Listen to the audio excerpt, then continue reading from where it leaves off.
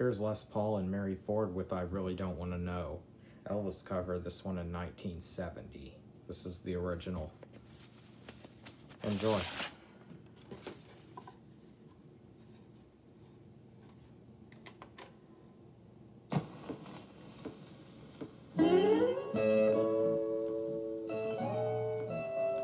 How